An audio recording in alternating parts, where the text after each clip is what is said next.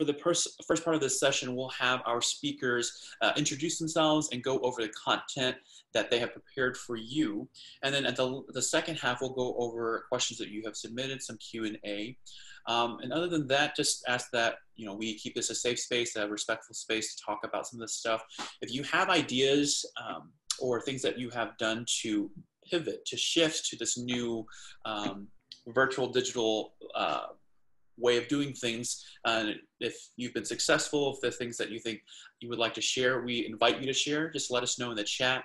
For any other questions, clarification, go ahead and use the chat as well. So um, without further ado, I will turn things over to our speakers for their introductions. Cool. Hi, I'm Glenna Fulitano. I am the Midwest District Vice President, and I am going to be talking a lot today about like how to make and use Google Classroom, not the specific Kappa one, just in general, because it's a really good resource to use this year. Um, you guys might be like, why are you teaching this? I'm a certified Google educator. I'm an education major, and we had to get certified through my program. So I have like that. I don't know if that makes you feel like I know what I'm talking about a little bit more. so, yeah. Hey everyone, I am Anthony Gooden. I am the Southeast District Vice President of Membership and I'm a fall 2017 initiate of the Nu Nu chapter at the University of Alabama, and as always, Roll Tide. Uh, today, my focus will be more on how to get your KK email if you don't have one already, and how to get into the Kappa Kappa Psi VPM uh, Google Classroom, and just going over what it looks like and how to actually access that. So Cool. I I think that's all for introduction. So we'll jump right in. Anthony will start and he'll talk about more of like the specific cap cap Psi side of things, and then I will take you through like how to make a whole classroom and all that for this year. So sorry if you're in my district, this is going to be kind of similar to what we did at our chapter, our district training for me. Same with the Southeast, but you know what? It's never a bad thing to review this information multiple times. We're recording for the entire nation of the Brotherhood, and I appreciate you all. Much love. Thank you. Bye. All right, everyone. So get to the Google Classroom. Um, you're going to go to the Kappa Kappa Psi website itself. And here in the membership tab, you'll have sign up for a kkpsi.org email. And the process itself is very self-explanatory. Um, your name, date of birth, your cell phone, your chapter designation, um, when you were initiated, the different statuses we have, um, your instrument, permanent address, current address. This is important use an email address that you check often because that is how you will find out about the status of your KKPsi email. Um,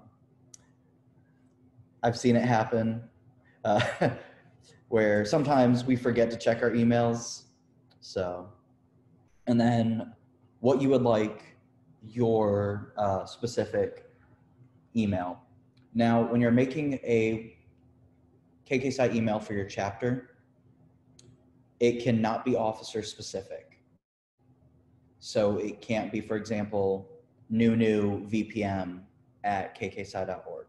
It has to be for your chapter if it's going to be a kkpsi.org email. Or if you're going to create a personal one, that is all on you. Um, so when I did this out, this is what I had requested easy for me to remember. Um, super, super easy. So now once you have gotten your email back about uh, the confirmation of your Kappa Kappa email, to actually access the Google Classroom, you will go to the Road to Wisdom page. Go to our lovely VPM tab and access to Google Classroom. Again, this is important. Once you have that email, you need to email curriculum at kkpsi.org with what your kkpsi.org email is. And that will get you access to our Google Classroom, which I will now show us. So when you go into it, you first load it, there'll be a picture of Tammy Ramsey right here in the left-hand corner. She is on the curriculum committee. And you'll click it and it'll bring you in here. So one thing I love about the Kappa Google Classroom is it's kind of like a blog spot or Facebook for the VPMs. Um, as you can see here on the 15th of June, Derek reached out to VPMs about wanting to do a teaching tips video.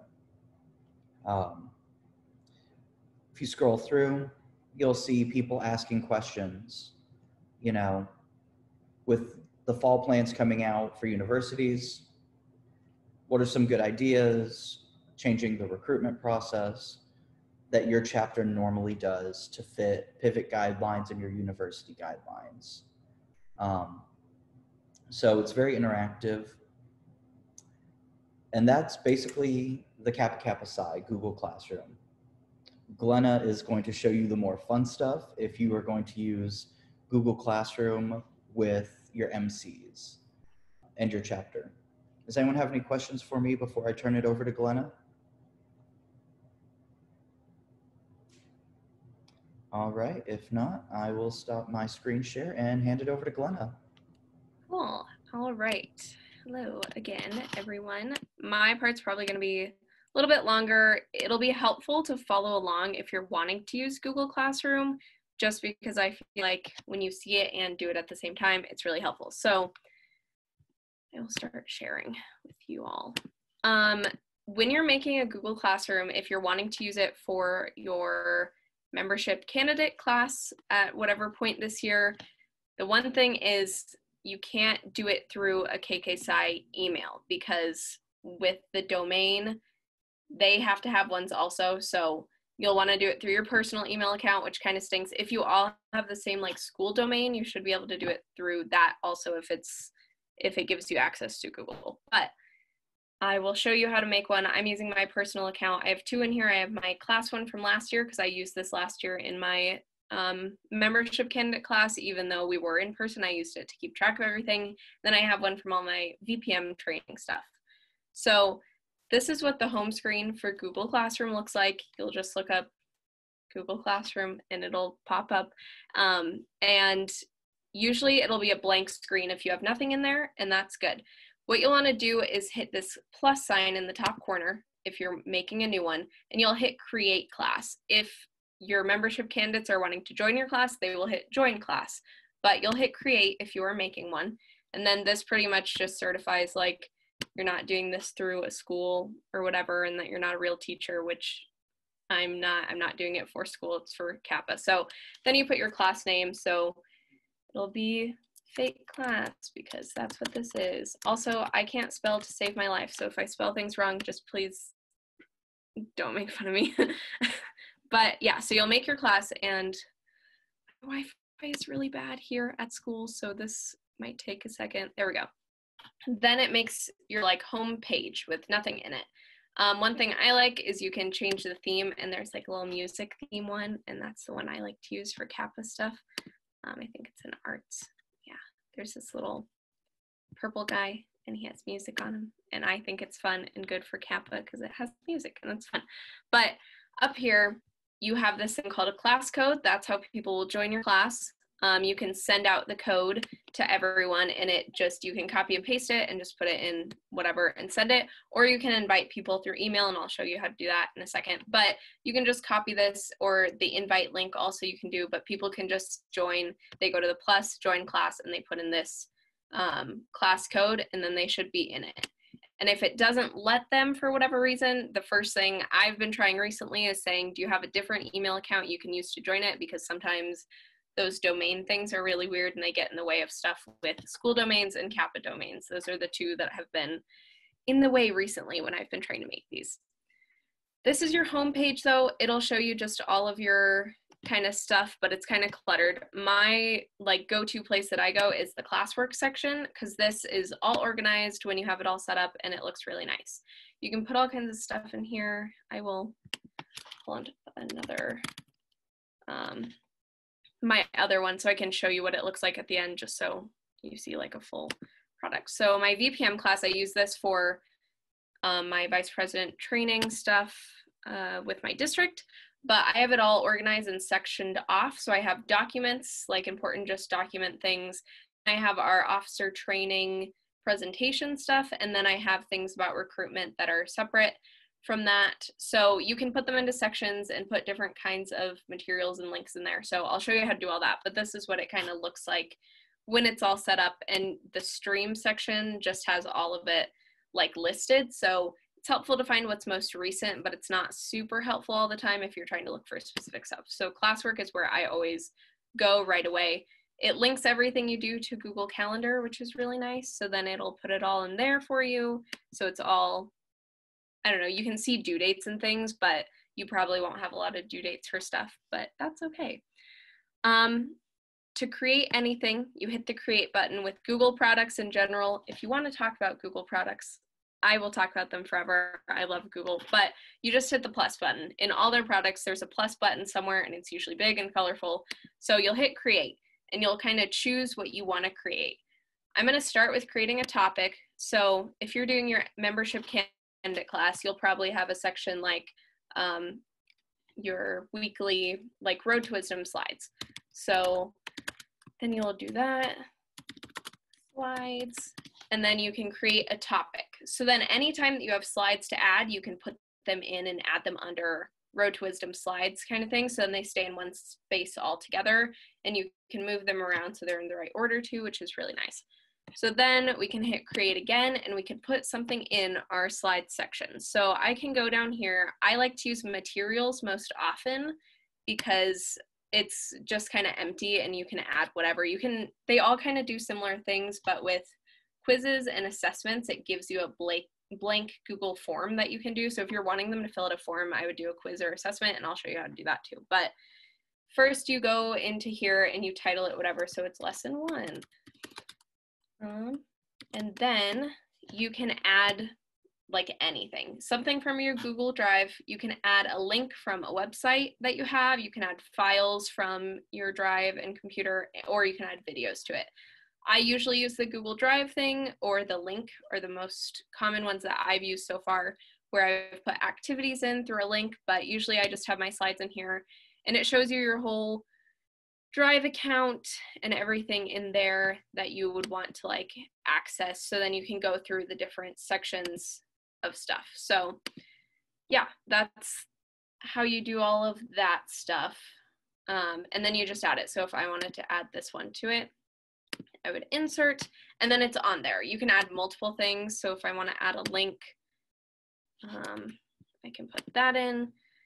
So there's these things that you can just add into it. And then what you can do is there's no topic right now. So you can go in here and I can either create a new topic right now and then it'll add it like we did earlier, or I can put it underneath this Road to Wisdom slides one and post it and you post it i usually do all students i don't know you might have a reason to post it to some but if you have people in your class it'll give you a list and you can assign it to just certain people if you're needing to send a form to just a couple people or something like that but i usually just leave it at all students if you have multiple classes that you're doing for whatever reason i like could send it to all of the different classes i have i don't need to so i won't but put it in there and then you post it if you want it to post at a certain time then you can schedule it to post. So I can go in here to schedule and then you just put your date and time that you want it to post at.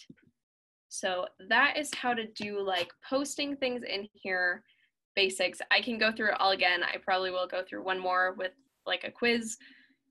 Do we have questions at this point of what's going on in here? I know I go kind of fast sometimes. cool. Um, I'm going to go through it one more time with just a different thing that you can add. So I'm going to do a quiz assignment. So the only thing that's different in here is it has a grading scale, but um, you can just make it ungraded if you want to do like 100 points and do that, whatever. You can put due dates on stuff. Um, I think I had due dates on the like membership candidate project that they did, the like Road to Wisdom end of it project thing, portfolio project. I don't know why I couldn't think of that word. I had like a date and time for that because I wanted it in so I could like make the presentation stuff I needed to with it. Um, but that's something that you can do with that.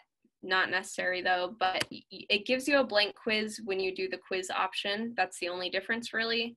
And then you can go in and make forms and quizzes about whatever you need to if you're wanting to just like see how they're doing with knowledge for road to the road to wisdom then you can do something like that and it could be like fun and you can insert videos and things in here and pictures that can be a fun way to like get things interactive and make it easier to see like people have questions. Sometimes i just do a questions form where i put questions up here and then i go in and i choose like short answer and i just put do you have any questions? And i put like three of those and send it out so people can kind of ask questions that they might not want to ask in person things like that. Um, again, if you want to talk about all the Google stuff, you can totally contact me and I will help you with it. But that's how that works. Another cool thing is that you can put it into a spreadsheet when you get answers from your quiz. So you just click this button and hit create new spreadsheet and you title it whatever your uh, quiz is, and then you create it, and then it'll take you and make it a spreadsheet so it's all in one place opposed to the responses where it's kind of listed out and it's a little hard to read sometimes depending on what the topic is and answers are. So yeah, and again, I can go in here in this one, I if I don't want this in a topic, I can go and I can leave it at no topic and then I need to title it something quiz and then I can assign it and then it's in there. So that's like the gist of it. If you're wanting to add people to, you can add other teachers. So if you have like an education chair or something like that in your chapter that helps with the Road to Wisdom stuff, you can add them. Or if you have other people presenting throughout, you can add them as a teacher. So then they have access to post things, uh, which is really nice. So then it doesn't all have to like be sent to you, then posted in there. You can just have them post it right away. Um, and then to add people, you just go in and you put in an email account of someone to add. So, and then you send it out and it'll hit invite and then you'll click it and you can send. So that's, I believe, everything. I know I went kind of quick. I can kind of show you all what I had last year for my class when I did my membership candidate class. But if you have any questions about stuff for Google Classroom, and how to use it for membership candidate things. We're also using it for our appointed positions to kind of keep track of their um, functions and stuff, whatever they're doing with those. So that's another thing you can use it for. There's all kinds of things you can put it into, but that's what we've thought of with my chapter. But this is my class from last year and how I kind of split it up. Um, I had activities that we did, anything they interacted with, I put on here. Um, documents that they just needed to look at and weren't doing anything with were up here. And then lesson slides I put all in one place. So that's what I used it for. I used it for them to turn in all their portfolio projects. Um, and I just like copy and pasted the meaning and what it's for from the Road to Wisdom. And then you can go in here and I deleted everything out of it earlier, but it was all like they had turned everything in and I had copies of all their projects in one spot, which was really nice um, to see. But then there's the instructions and stuff like that. And they can add comments. One of them made a YouTube video kind of thing. So should just put it in there. So there's all kinds of things you can do with it. There's a lot of fun, just ways to make it, I don't know, your own classroom and do what you want with it. So yeah, I think that's about it. Great. So. Awesome. Thank you, Glenna. Thank you, Anthony, for um, taking us through how to go about this. So um, I'll go ahead and open up the floor for any general questions regarding Google Classrooms.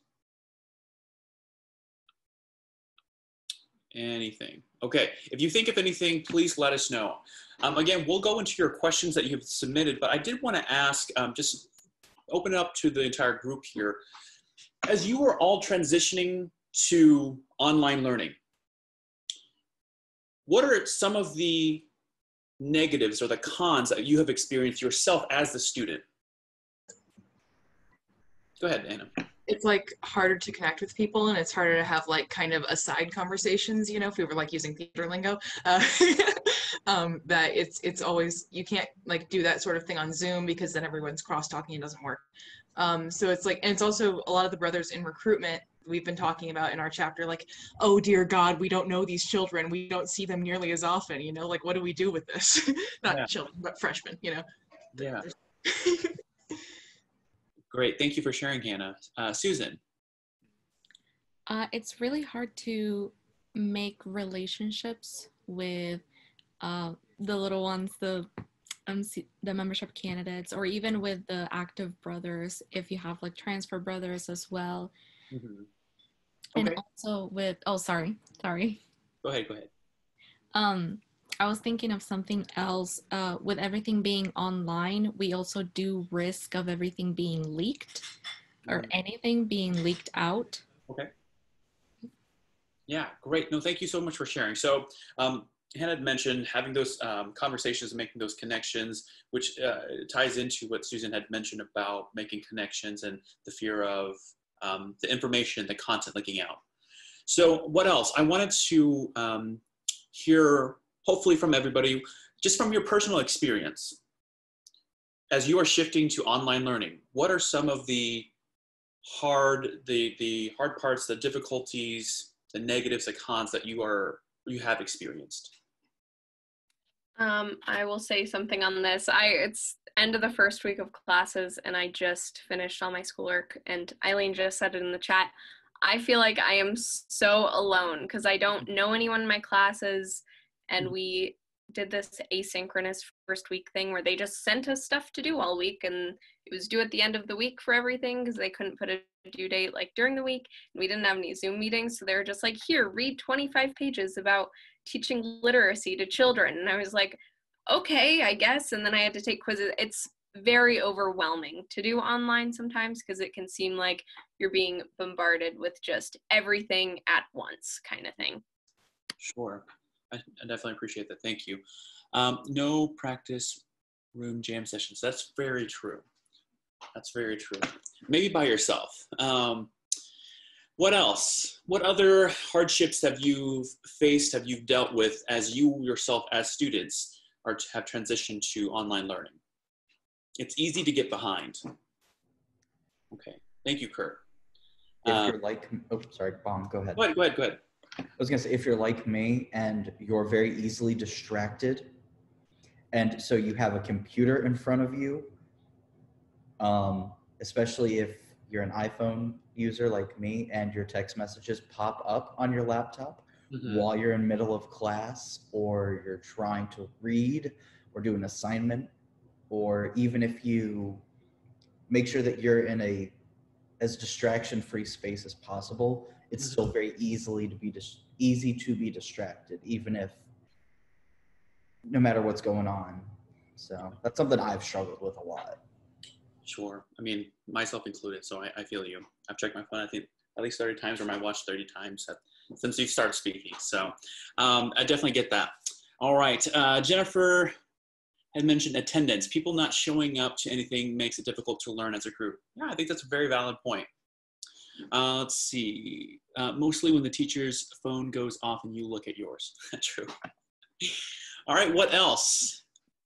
I mean, kind of what Anthony was saying with background distractions. I live with my three best friends, so it's like constant, like, hey, what have we thought about this? What are we doing? Are people Yeah. having fun? But we're always like in and out of all of the rooms and common spaces, so it's difficult to stay focused a lot of the time with that. I think focus is the main thing that is taken away because you're not in a specific like learning setting. It's like this is also where I live, Mhm. so Okay. I'll take a couple more. What else? Uh, sometimes the service is bad and you have a hard time trying to, yeah, trying to hear the instructor. That's very real. People not interacting and paying attention. Okay. Cool. Okay. So with that being said, you know, with that list of struggles and hardships, I'm assuming that can most likely will translate over to your membership class going through uh, membership education, wouldn't you say? So that, with that being said, um, let's kind of open up the the um, the floor for suggestions or what you have seen or have tried to overcome some of those struggles. So for for for example, for me, uh, if I know that I have I have to like I have to pay attention to this because this will affect my literal job, then I know I need to take off my watch because I know to me that's like one of the biggest things. So that's a small step, but that that's a thing right there. And I turn off my notifications on my on my um, on my Mac. So that's just like you know it could be something as simple as that to something major. So wanted to open up the, the floor for people to share thoughts, ideas, or things that they've tried. Uh, my favorite professor at UNO, she teaches like collaborative piano and keyboard and all that. Um, Mhm. I've been helping her test out things over the summer on like how the hell do we teach piano online. Um, so she's been like after us about like guys, you cannot stay on some, the same thing for 15 minutes. Like in person, yes, but like you're gonna lose people. Facebook is right there, you know. Yeah. Um, and sure enough, so like when she actually like teaches lessons to us, you know, it's like through each thing. Um, and then we like circle back to things if we have to or whatever, if we don't get through them in like seven minutes. But Mhm. she gives us a lot of time to like um, a lot of different things that we can do over the course of the lesson so we don't like totally lose focus. Mhm. Okay, I think that's very cool. Um, Susan says, "I will hide my phone in another room." I mean, sometimes you just gotta do what you gotta do, right? If it means hiding in another room, I get it. Um, I met with somebody who, um, because they were so easily distracted, they said, I, "I literally hide in the closet to do my Zoom calls," and they got a ring light and all that. So I get that. Um, I keep about 15 different fidget objects nearby to make sure my hands are always busy. Yeah, totally get that. And you know, like there's some people who I can't sit still for very long. So like I, you know, have the the privilege of getting a stand-up desk, so like I can, you know, fidget and do this, and you know, be able to interact and, and be a little bit more engaged. So what else? Let's let's shift from from the distraction part. Let's shift from that to the connection piece. How have you been making connections, or how have you seen other people make connections online? I know a lot of people hate the traditional icebreakers. Mhm. Like, what's your name? What's your major? Where are you from? What's a fun fact? Um, I'm being honest. If someone tells me to tell them a fun fact without me having at least three to five business days to think of it, I'm not going to come up with a good one. So, trying to change up those icebreakers um, that spark a little bit more creative thinking in the moment Mhm. like when you were doing um, the podcast interview with Megan and I, and we were doing those uh, just that rapid round of questions. You gave us no time to think. Like, if you have to be a Disney princess, who would you be? No explanations, just who would you be? You know, something quick to make people still make it fun and less, oh no, it's another name, age, fun fact, major, hometown kind of thing. Okay. I get. I, I- definitely like that. Changing it up, making it different. What else? Most people really like to meme up any form of group chat. Hey, I like it. Um, I'm a physical learner, so it's hard to get access to your professor in good timing to resolve a problem. Um, could you could you um, elaborate on that a little bit more? I want to make sure I understand the question. Is it Dazen?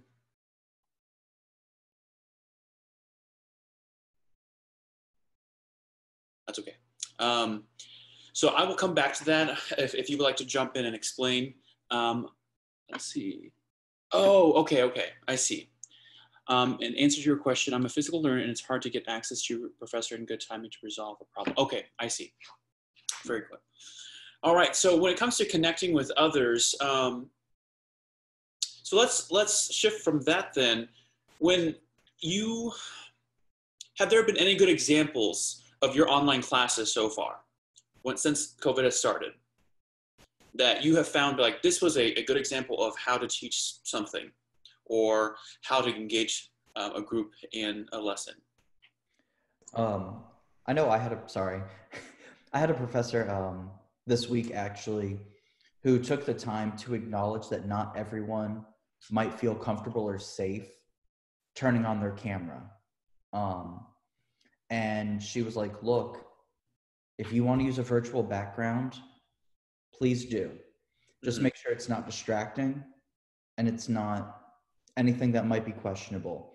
But for me that that hit home because i know a lot of people who might not feel safe you know revealing their location or if they're going through something you know having that safety in a virtual classroom Um, and even though we've only had that class one day this uh, this semester so far, Mhm. I know that affected a lot of people positively. Okay. So yeah, I, I appreciate you sharing that. I mean, that could be really something to to kind of make a note of because sometimes we we forget. We, you know, if we are feeling comfortable or that's something that that we don't fear, maybe that's something we forget. So maybe that's a good thing to make a note of to remind people consistently, like, hey, it's okay to not have your camera on or such. So, um, giving people that grace. Hannah, I think you had your hand up as well. Yeah, that same professor I mentioned earlier, she had us, um, she pulled up like MS Paint or something on her computer and had us use the annotate feature on Zoom to like draw answers to questions. So it was like, show me a face of how you're feeling today. So some people like drew just two lines and then a line across or whatever. Um, and then it was like, what's your favorite color? And you have to write it in your favorite color. And like, you- we would use that to mark up scores and stuff. But it was a really nice way to just spend five minutes and like check in with people and be honest about it, you know? hmm And it was hilarious because people's stick, stick figures were adorable. So. Yeah, yeah. Okay, I appreciate that. What else? Um, for one of my classes, we just for like introductions, I think doing something a little different is always fun.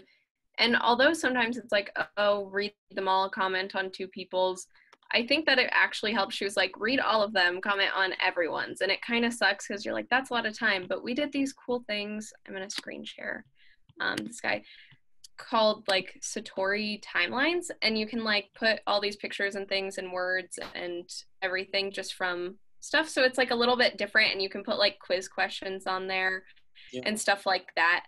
So there are fun things that you had to be interactive with a little bit more um, than just doing a regular like this is me kind of thing. So we did that and we had to comment and then it got a lot of questions and things going about like, oh, where are you from? There's a girl in my class from California and I'm from Oregon. And I was like, oh my gosh, that's crazy, West Coast kind of thing. So I think actually like taking the time to focus on what other people's things are and not just like filling it out for the assignment of like, yeah, I have to comment on people's. I think that really helped. She was like, actually have real conversations or you're not getting the grade, which kind of sucks. But then we realized like it's fun to go through and actually see everyone's and you get to see people's pets and stuff like that. So just having fun with it, not being so stressed, I think is a good thing to like remember. Like everyone's kind of worried right now, but taking a breath and just being like, well, everyone's doing the same thing, so might as well kind of put everything into it type deal. Yeah. Great. I appreciate that. So, with that being said, um, looking at how to engage and how to teach online, how to teach virtually, um, I by no- means am an expert. Um, I just take notes and pick up what other people find successful.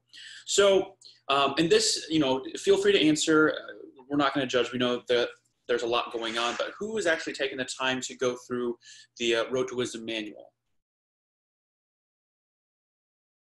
Okay, very good. Um, okay, so with that being said, can someone tell me the theme, other than the fact that it's the road to wisdom, for all the lessons? What is what is the theme that stands out? Your blank matters, or our blank matters. Right.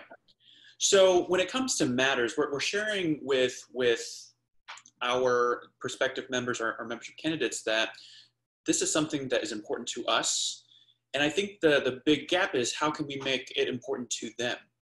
So I'm going to ask that question to the group. When it comes to each lesson, how can you make it important to the lesson? So let's go with, like, for example, lesson two, our service matters. How do we how do we go about sharing that, that this is something that matters to to should matter to a, a- an MC as well? Any thoughts? I would definitely say showcasing what your chapter has done. You mm-hmm. know, bring it beyond just the words on the page. Yes, service matters. Yes, we should find it important. But we can't show them that we believe it's important if we don't show them our acts that we've done. Granted, we shouldn't be doing the service for the thanks, but just being like, look, we take service seriously. We love doing service. You know this is this is what our chapter has done. For example my chapter it was a fundraiser but it also was a service project. We've done a pie psi um, and you know we're like all the money donated is going to go straight back into the marching band program.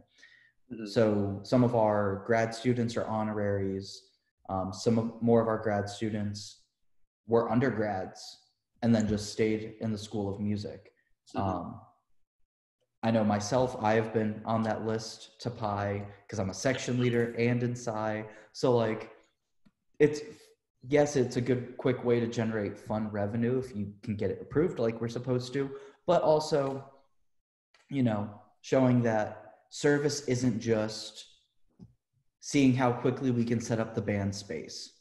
Mhm. You know, there's other ways to do service that aren't manual labor. Mhm. Yeah, let, let me read Jennifer's here. Um, show what we do because most of our band notices that we only do one or two things when we do so much. Also, show them that uh, they can do service how they want and can do a service project that they want to do or interests them and isn't just something we want them to do. So I think that's very powerful. And again, really looking at the fact that how are we looking at our MCs? Because I, and this this may be a hot take, but I understand traditions are important, and I understand a lot of times we do the same things over and over again because it's, it's comfortable and it's easy. But we really look at what where we are right now, and are we taking the things that we need them to do, the the end goal, point B? Are we matching what we need them to do um, with how we want them to do it, or are we matching it with their skill sets? With that being said, if you want to achieve that, how are you in your chapter getting to know the MCs to see what they bring to the table? I don't know the answer because I'm sure chapters do things differently. So I want to ask, like, how are you? How have you gotten to know your MCs, Glenna? I mean, when we even like the second um, lesson is about it's all about service and stuff. So that's when we choose our like MC service project and stuff um, that they're gonna do.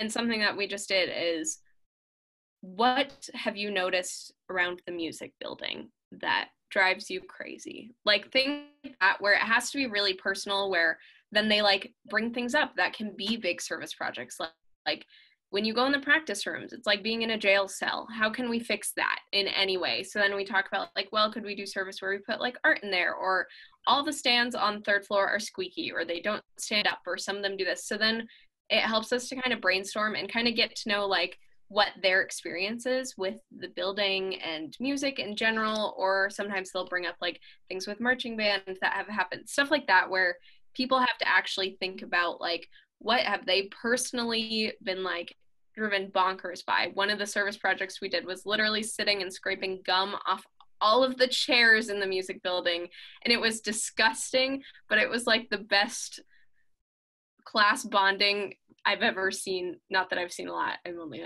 going to be a junior, but I was like this is great because we were all like that was terrible, but it was good and it actually like did something because no one wants to pick up a chair and have gum all over it. So things like that where things that actually like they've noticed and actually kind of bother them and what we can do to change it. So then to kind of also combat the like a lot of times we complain about a lot of things, but how can we actually fix it rather than just complaining and letting it go? How can we like actually take action to make it better? Yeah. Thank you for sharing. I appreciate it. Aileen, did you have something?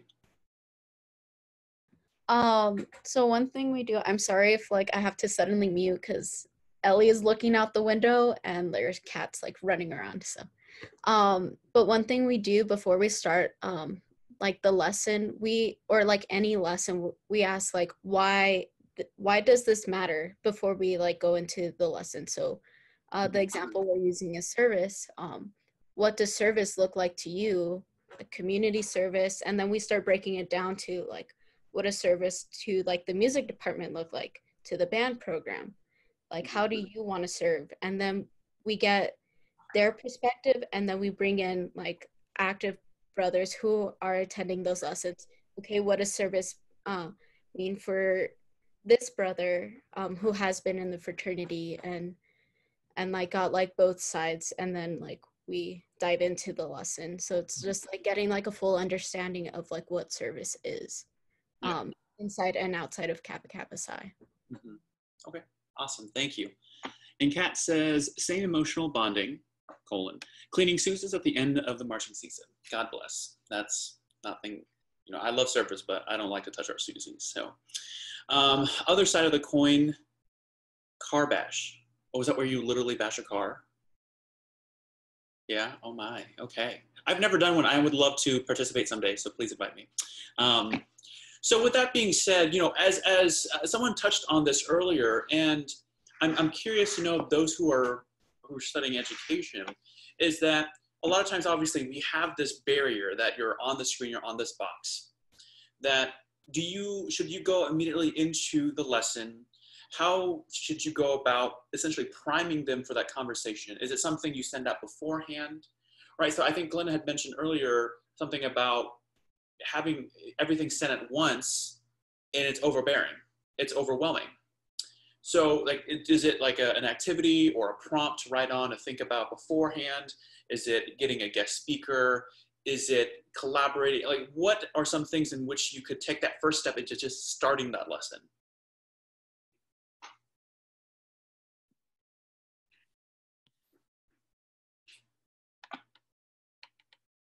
Um, okay, everyone's talking about the car bash in the comments. Sorry.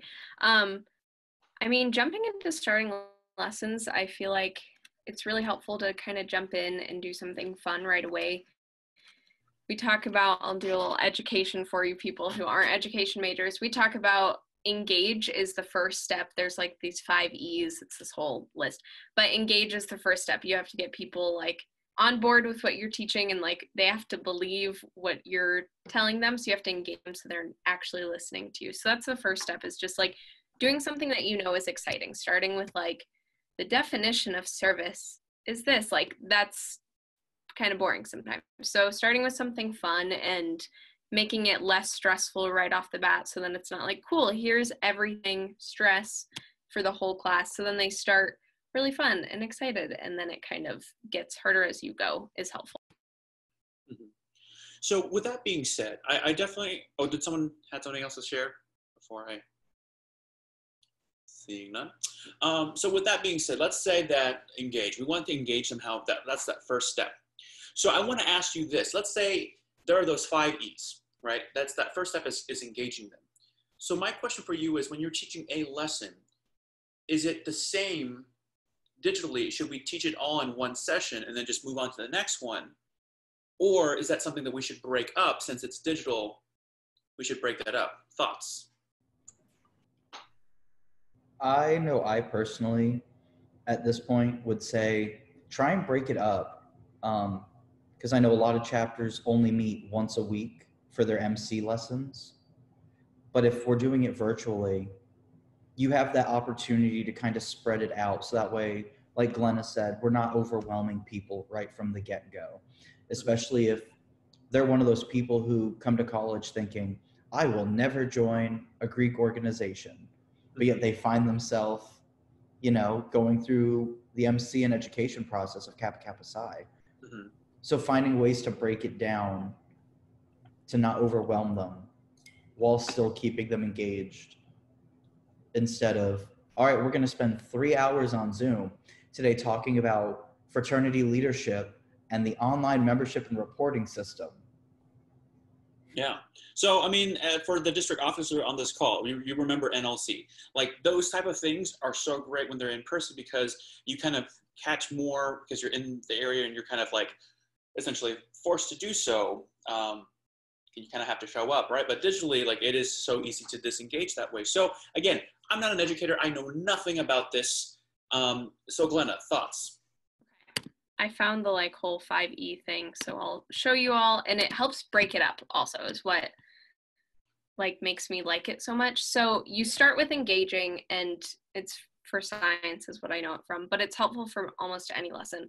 So people are on board and then you have them explore on their own and figure out what their connection is to it and then it gets them more interested in it whoever you're teaching whatever you're teaching. And i can like copy this and send this to bong to put with all this stuff so you guys can see it if you want it. Um, and then you explain. So you've let them have fun and figure out their connection to something in this lesson and topic and then you explain it. And then it takes the boring part and puts it at the end when they're already engaged in it. So then now they want to know what the actual point of it is because they've seen it in their lives. So why do they want to know more? So that's that. And then elaborate and evaluate are things that you want to have happen, usually further on. So you do these three first ones mainly, and then elaborate is something where you have them like next time we'll come back and talk about this after you've observed it in your own life kind of thing. Um, so we did it in science. I know this isn't a great like for Cap Kappa Psi example, but we did it in science of like talking about how temperature changes throughout the day. And we had them then go home and explore like in their own like homes and yards and things like that like where it's hotter and where it's colder depending on things. And then they come back and they have more information because they've observed it in their life. So things like that where then they can go and into their life and see what am i doing as service that i'm not realizing is even service? And in that hour class it might be hard to think of everything but then you go home and you might think oh yeah i did these things in high school and that's why it matters to me that i continue doing that kind of thing. And then evaluate is kind of you don't super need it. It's just like the final like closing of it making sure everyone's kind of on the same page with stuff. So then redoing that explain step of going through cool now that we've gone through this making sure it all relates back to each other so that's the 5e lesson plan thing, but I think it's really helpful. I thought it was silly at first when I had to use it, and I was like, oh, we'll just do it because we have to. But it's actually super helpful in making an engaging class that like flows nicely. Mm-hmm. I appreciate that. Thank you. So, I mean, just going off of that, um, and I'll, I'll, go to our chat comments here in just a second. Um, like, let's say I'm just thinking off the top of my head. If I look at that five model, I feel like for me, I would I would have that session, that like whatever the online session is, that meeting, I would probably cover the first three and then have them maybe record a video explaining or just doing some sort of project on their own, uh, obviously limiting it to a small amount to make sure that it's not overwhelming for them. And then from there, maybe having, maybe leveraging your bigs, your, your, your education committee to have that more elaboration, that evaluations phase of it to kind of help them do some self-discovery and self-exploration. Awesome. Okay. Thank you, Glenn. I appreciate it.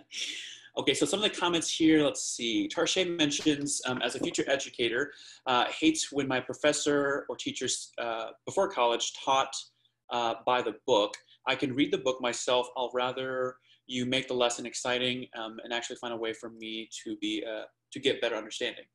Yeah, definitely. Uh, I can honestly say throughout high school, I did not read very much because I don't know. There was something about being forced to read something that it was it just it wasn't enticing, right? So I, think figuring people's whys and and really focusing on how to get to know members. So as we're thinking about this, I think there is there could be limitations to like if you're a chapter that takes a large class, like do you need to rethink that to make sure that whatever class you do get, that size is manageable for you, your chapter, and your committee. Something to think about, right? Because what we don't want is to take a huge class, have people either feel disengaged, feel that they're not important, and they become um, those members that in the future start to create problems because they just were not fully engaged, right? And, and I'm sure you've seen VPMs and I'm sure you you may have done this yourself in, in other aspects, but when there are people that are like excited, they're positive, they kind of raise your hand like I'm ready to go, we're more likely to teach those individuals and give them more time. Right? But then there are those who may be shy or who may not be so comfortable. And so looking at how we, we engage them. Um, Chris mentions um, he had a hybrid class even before COVID where uh, all the lectures were online, and then class time was reserved for examples and discussion, which I found was effective for understanding material, but it was difficult to make sure all the material was at least read by everybody. Yeah, um, I was definitely one of those students that did not read the material. So, fake it until you make it. Um, great. Okay, so let me go to some of the questions here that you had submitted beforehand. Um, let's see, what other what are some different types of media that can be used while doing the member process online? Do they mean like online applications or things like random stuff or actual things from like Kappa Kappa Psi to use? Do you know or should we just talk let's, about all of that? I don't know. Let's go with the first one. Okay, um, I can give like a couple. I know they've been said in other things, there are a lot of websites, and I know that Jessica Lee listed a lot of them because she is a teacher, so she knows. But there's ones like Pear Deck where it's slides and they're interactive, so they're doing the slides along with you. And if you have a question, they like write on it, and you can scroll through people's answers, stuff like that. Mhm. I like things like um, shoot, what's it called? There's ones where it's like a cork board or sticky notes and things like that, where you can have people click on stuff and write their own answers and things like that, which are really fun to do. There's so many websites out there. If you look up anything about like educational tool for online learning, something will come up and it'll be helpful. You might have to dig through a few things, and I can find stuff and send it to Bong about fun things that you can put into your classes, but there are a lot of things that you can add if you just kind of search a little bit online. And then to kind of add to that, for the less kind of serious side of things, um, if you are a VPM who likes to use, um, I believe it's called the reverse classroom, where like you have people go over the material beforehand, um, before the actual lesson. There's plenty of ways for people to be creative. Um, honestly, you can make TikToks interactive. You can have people do wet each other. Um, the great thing about the Road to Wisdom is that everything that is in the Road to Wisdom is able to be accessed by the public. So with Road to Wisdom stuff, none of that is secret. Anyone can find our Road to Wisdom. They don't need to put in any special password or anything like that. So for the people who fear, you know, well, what if secrets are getting out? If it's Road to Wisdom and stuff like that, that's perfectly okay. You just need to make sure, hey, when you're if you're going to use an outlet like TikTok or another type of social media to kind of help create a fun, engaging response or activity, if they've already done a degree, make sure that they're not referencing the degree in that. But you, there are plenty of ways to still find interactive and engaging activities.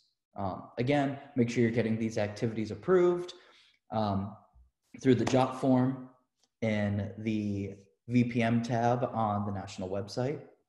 But you know, there's plenty of ways to keep things engaging and interactive without being as serious as a cork board. So with that being said, you know, I, I think it's really important that we, as the, the people who are teaching and leading the membership process for the, for the chapters, is that sometimes I, I think we forget, yes, we have picked the best of the best to come in, they still haven't fully come into their own in the, in, in the brotherhood, in the chapter. Many of us have not either, right? It's this ongoing cycle, this process to learn. And if I had to pick, if I had to pick only one thing to focus on, if I were VP, uh, VPM, is how can I make that process for them in a way that they can actually process themselves? They can go through some self discovery. They can go through, like, you know, this is, you're essentially making them think through it rather than just doing the action, completing the assignment. So there are lots of obviously things to think about, and there's ways to make things engaging. I since I, I really do believe that us as band kids have the the uh, capacity, creative energies to make this work. But I also hope that we can be less rigid um, and start to move away from how things were done to try different things. Because at the end of the day, nationals, we're not teaching. District, we're not teaching. It's you at the chapter level that's teaching. So the more new things that you try that, you know, isn't illegal and blah, blah, blah, you know, we're not getting anybody in trouble, try new things. And if it works well, you share that with us. That makes us stronger. You can actually add to the road to wisdom, and that could be something that is adopted. So don't feel so rigid, like, oh, I, I need to make this engaging based on how things were done. There are many different ways, and I encourage you to try different ways. For example, I know of a chapter that is, I don't remember their name is actually, but they are trying to teach leadership and some of the lessons through Avatar, The Last Airbender. And they're showing examples of clips here and there and, and having people engaged and having people kind of break down characters. And they're just doing that analysis, that thought process, that thinking. And that helps them ask learn how to ask right questions learn how to notice certain traits learn how to have those conversations um, and the last thing I'll, I'll, mention here before we go to our, our last question is when it comes to your role you're not alone i know that's that's so obvious to say but you're not alone you have your chapter hopefully you have a committee if you don't let your district officers know let us know we can help you start a committee leverage your bigs have a meeting with your bigs and let them know what the expectation is. How do you want to utilize them? Right, we also have our curriculum committee, our virtual education committee, people that you can bring in so that you don't have to teach a lesson. They can help you go through this content. Right? Or maybe collaborate. Maybe ask your district officers like, hey, you know, maybe we should do, if you could all can help lead lesson number one to kind of see how that goes. Think of new ways in which you can leverage other people because i think at the end of the day this is going to be very daunting if you take it all if you take on all this on your own okay so my last question here that i have mm, mm, mm, let's see let's just talk about burnout i think that's just general very common for any and all of us ways in which we can combat burnout or recover from burnout um, I can start on this little. I mean, a lot of us have probably already reached that point a little bit with classes from spring and all that. It's hard, or long Zooms that you have had to do for whatever you're doing. A good way to like combat that a little bit might be to just take a break sometimes. I know that a lot of times we have these strict kind of class schedules. We have to get through it. We have to like get it done in a certain amount of time, but try to allow for a little break in there because everyone's going to need it. We're all so stressed already and it's like week one for most of us maybe week two so i say just really allow for those breaks and even set up things where people can they want to and hang out because i know for myself a lot of times i like to be able to just talk with people in those settings because i love people who are in kappa but sometimes when we're only talking about kappa it's like I don't want to do that. It's not fun anymore because we've been doing this for hours. But then it's nice to still see those people, but just kind of chat and hang out as is. So I think just doing stuff like that where you can just be kind of chill together and not have a strict schedule of things will help a lot. And making sure that you're taking care of yourself and like getting sleep and eating food and drinking water, things like that are going to help a lot. And remembering why you're doing it. We all remember why we wanted to join Kappa, and this will be specific for classes like this, or for school, why you wanted to do your major. And I think that helps a lot because I, for a little bit, was like, oh my gosh, I can't do these classes. And then I started thinking about, well, this is why I actually wanted to be a teacher. This is what I actually wanted to do with it. And it helps me kind of get through the hard parts because you know that you're going to get to a point where things are better than they are right now because it's hard to go through everything and be like oh my gosh teaching all these classes is taking everything out of me but then remembering like at the end of it we're going to have a new class of members in our chapter and that's so cool and they're going to be brothers and you like taught them and brought them into it so it's really cool so remembering the good things and why you wanted to do it in the first place i think really really help in the end yeah other thoughts uh, definitely I, I definitely agree with glenna and to kind of add to it, I know earlier um, someone had brought up memeing in a group chat. Find that group of friends. They can be Kappa Kappa Psi related or not, but find that group of friends that you feel comfortable with when you feel the burnout. Um, have a group chat with them. Send memes to each other. Um, be like Glenna and Kat to some of the other VPMs and VPs. Did you drink water? sometimes it's as easy as that just check on each other you know talk to your mc class if you guys are doing a fall class talk to them be like hey are you feeling burnout okay if you're feeling burnt out what can i do to help what can your big do to help you know ask them what their needs are or if you have a good relationship with them already because you've been in band together for two years because you're a senior and they're sophomores or juniors, you know, and you already have that pre-established relationship, just be like, "Did you drink water? Hey, here's a funny meme. Have a good day. Take a nap." You know, just check on each other. I think that helps a lot with the burnout as well. Yeah, I appreciate that. And I was really hoping, yeah, like Tarsha had touched on this. I was hoping you would just share the fact that sometimes you just need to, you just need to get crazy with one another and just have fun, laugh. You know, sometimes you just need that. And I think at the end of the day, if if these MCs feel connected to you, to the chapter in some way, shape, or form, the learning will continue. The development will continue. It is not your job to make them the perfect brother. It is your job to help them engage, to help them learn how to ask the right questions, learn how to have the right conversations so that they can themselves strive to be that perfect brother. So I would say, again, if it really has anything, any worth, focus on the connection piece. And again, you don't have to do it all on your own. So I wanted to thank both of our speakers, Glenna, Anthony, so much for your time, for taking the um, energy to prepare this and to showcase. Um, this call is being recorded, so once I render the video and upload it, I'll share the uh, link out with everybody. I encourage you all to spend some time and just take care of yourselves first, right? You cannot show up as your best self if you don't take care of yourself. So it's not selfish. Please just take care of yourself. Um, we will have uh, another VPM training, uh, details to come on that. Um, but again, just a reminder, this is, this is not a, a one-time series. Uh, we will look into developing other VPM training in November and February, but we need your input. What are things that you want to learn about? What are things that you want clarity on? Because we cater this for you, not just to, not just to hear ourselves talk. All right, Glenna.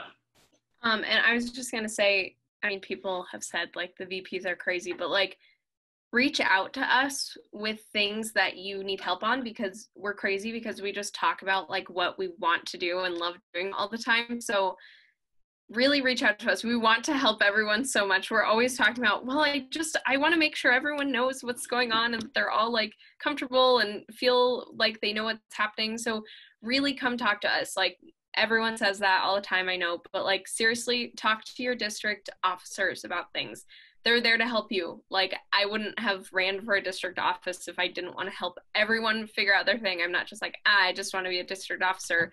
That would be silly. Like all of us are here because we really really want to help everyone figure stuff out. Even if you're not like your chapter's vpm you can still talk to us about things if you have ideas or questions about literally anything. We will talk to you about it. We will help you or try our best to or send you to someone. So ask your district officers for help if you need it. I know it's scary to go to national officers sometimes. Ask us. We're students too. We're in the same boat as you.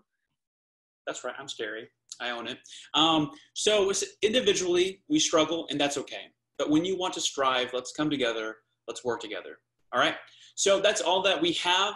If you have a moment, please Please thank our speakers. Please thank your district governors and counselors um, and councils for all that they do. Um, more details to come, but please take care of yourselves and wash those hands. All right. Bye, y'all.